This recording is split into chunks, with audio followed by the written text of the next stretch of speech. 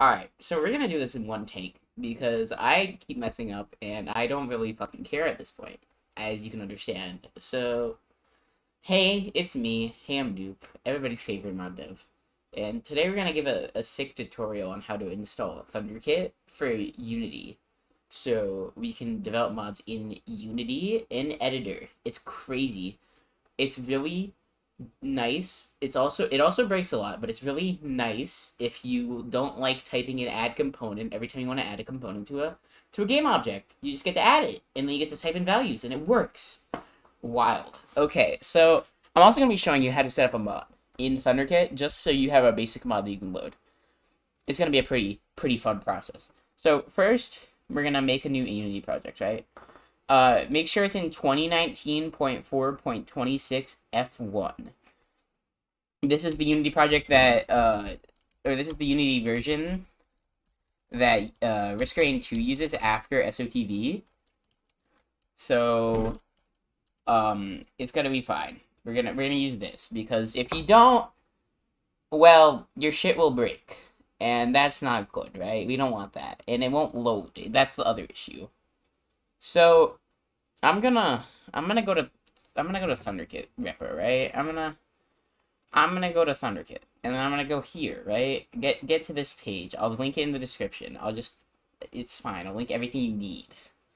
So, you're gonna go to clone, and then you're gonna click on this link. You want the HTTPS uh, link for the GitHub repo. Now, you're gonna go to the, the package manager when you get in Unity, and it's going to take a second to load because it's going to load every Unity package ever, and you really don't want them, but it's going to load it anyway because fuck you.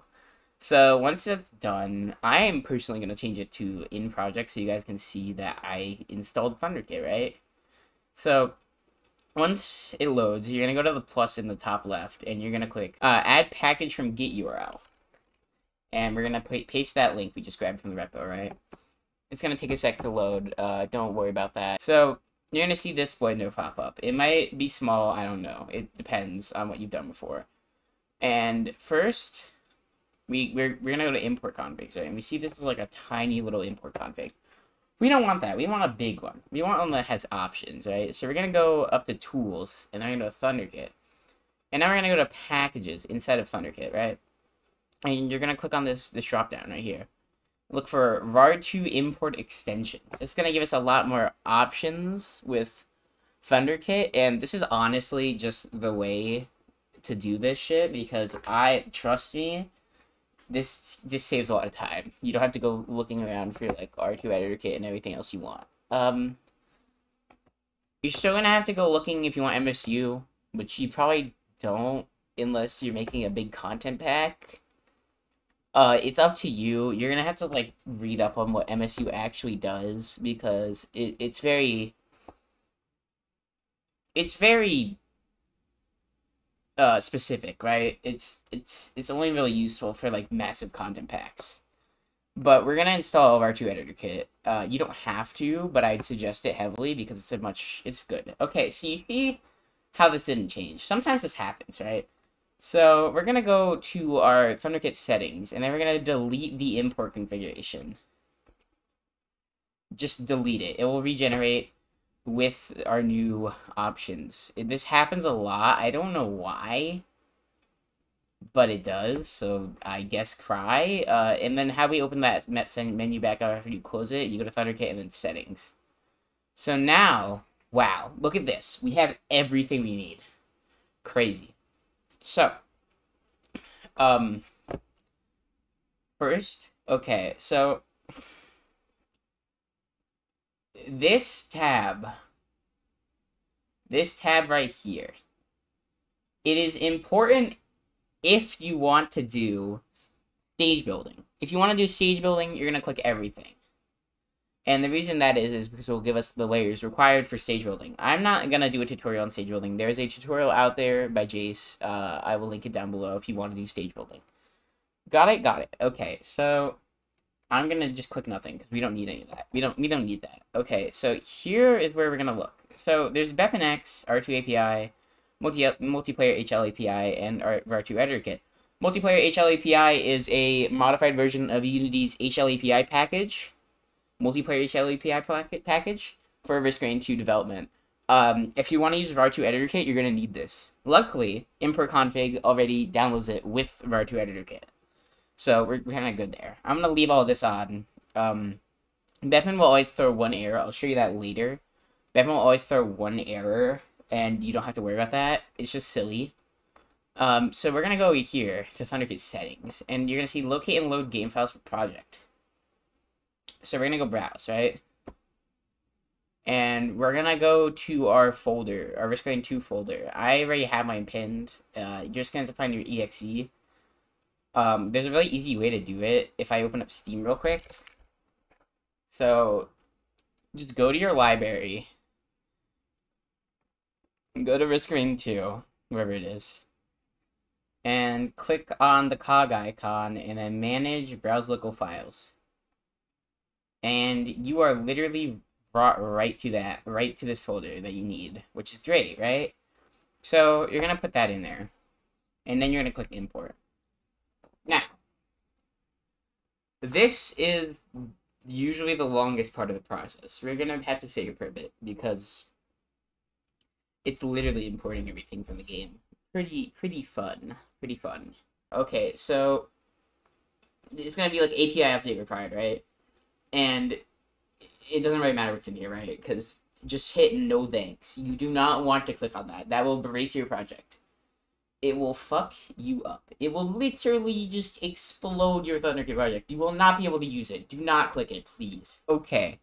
I think we're done. We're done. Okay. So. Wow, we have ThunderKit now, guys. This is crazy. So, as I have RoR2 editor kit, we're going to have this drop down. That's how you check. Pretty cool. Now,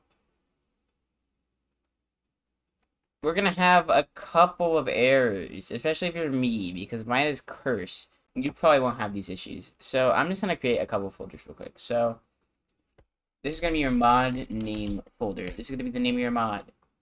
Um, it's gonna it's gonna be where you put all your like mod stuff, right? And then below that, we're to create a assets folder, right? So this is where our assets for our mod name, our mod goes, right? Uh, we're going to build this in the asset bundle. This is where you're going to put all your stuff. So now that we have an assets folder, we're going to create three things in this folder, right? Okay, so first we're going to create a manifest. It's under ThunderKit, right? So we're going to go through here, manifest, ThunderKit manifest. There we go. There's a manifest. Call whatever the fuck you want. I don't care. Uh, I'm gonna call it example mod. Cool. Cool. Manifest identity. This is where you put stuff about your mod. So we're gonna add a couple things to our manifest. Usually, all you're really gonna need is a assembly definition and a asset bundle definition. Now, if you're planning to like put your shit, put your Thunderstore stuff in here, you can put files but uh, I'm not, so I'm not to do that. Okay, so first we're to assign the asset bundle. So we're to call it asset bundle dot, well, you call it whatever the fuck you want, uh, dot bundle. And then assets one key, and then we're to choose that folder we made before, assets folder. Bam. Asset bundle done. Now we're to need to make an assembly definition. This is the second thing that goes in this folder. So call it mod ASM def or whatever. I don't really care. Okay, so make sure you click override references because we're going to need this to, to add our stuff. Okay, so for basic stuff, BepInEx.dll, MMHOOK r2.dll, r, not that, r2api.dll, RoR2.dll. Very important, very important. All these are pretty important. And also add mono.cecil. Okay, these are basic things. Now, other things you might want. HG Sharp utils. HG Unity utils. Uh, you're gonna maybe want, uh, well, you're probably gonna want Unity.addressables. Very important one. Uh, don't, why do they keep adding that? Um, that's mostly it. Uh, a lot of this stuff is just situational, right? So some of it you may not use, some of it you may use. Uh, Legacy Resources API is if you don't want to use addressables, but I'd suggest using addressables, so just don't use it, I guess. Uh, oh, and I, uh, monomod.utils, that's another one they have, that's good. Okay, so we have all those, right? So, apply those. And finally, the third thing we're going to make in here is we're going to make our base Unity plugin. Base Unity plugin. This is this is uh, why we generate a DLL. This is this is how we load the mod. I mean, you could do it without it, but I tend to do it anyway. And I'm just going to do it off of what I do. So, create a C-sharp script. I call it main. Whatever, the, I don't really care, but main is what I'm going to call it, right? Click on it twice to open up uh, Visual Studio. It loads. Okay, so we're going to do using BepInEx, and we're just going to create a basic plugin. Now, I am going to assume you know what you're doing with a base Unity plugin, uh, because that is also on the wiki everywhere, and I am not teaching that in this video to save time. So, make your base Unity plugin here, save it, save it, saved, great. We have everything we need for the mod. Awesome. We're going to go back to our manifest, and we're going to add our assembly definition to this manifest. One, easy. Mod ASMDef. Bam. Good. I'm gonna add a random image in this folder because I need to have something to load in an asset bundle, so it generates one. Sick, got it. One more thing, create new folder for your pipelines. So I'm just gonna call it pipelines. Very intuitive, I know. Um, we're gonna we're gonna go to ThunderKit pipeline.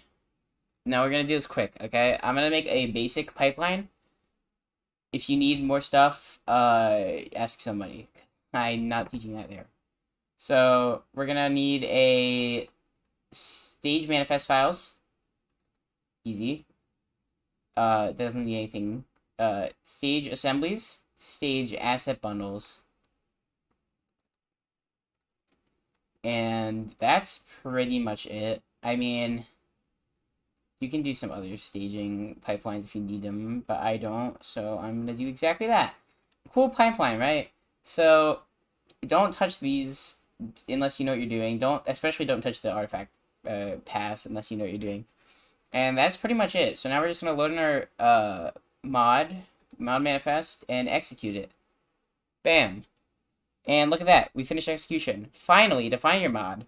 All you're going to need to do is go into show in Explorer and go into your ThunderKit file, and then the asset bundle staging is where your asset bundle is going to go, and libraries is where your mod is going to go. Bam!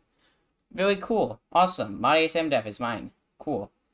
We're awesome. We're done. We're done. That's it. That's all you need to know. Basic ThunderKit, okay? Now, obviously there's stuff to learn, like, uh, how to make content in ThunderKit and all, but this is just a basic mod setup, right? if you're using a RoR2 editor kit, you don't actually need to do all this setup. And it actually does it for you, which is really nice. Really, really good of Nebby to do that. So, we're going to right-click RoR2 editor kit wizards. Mod. Author name, hey, I'm Nuke. Mod. ThunderKit. This is the internal name. Mod name is internal name. And it also should follow camel case, which is, you know, no spaces caps for each word. Human readable. So this is going to be Thunder Kit Mod. So this is the one with the spaces. And then description, this is my mod. And then you're going to click Run Wizard. And it's actually just going to create all the stuff you need right here. And it even creates an asset folder. That's great, right? I'm just gonna drag this in here. Anyway, so it actually will add everything you want in here anyway, too. So R2 API, monomod, everything, everything you want, everything you want. Sick. Good, good on Nebby for making this.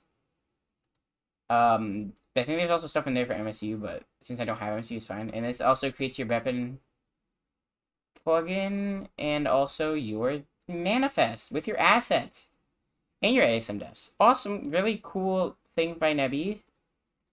Uh, a little time saver, and then we're just gonna plug that in, it works again. Mm -hmm. Okay, so that's it for the guide. Um, that's all you need to make a basic mob with ThunderKit. Uh, if you want to go more in depth again for content, then of course look into it. Um, content creation of ThunderKit, we don't have much documentation, so went went. Uh, but we do have stage documentation by Jace if you want to make a stage. So I'll link that up below again, and I'll see you guys on the flip side.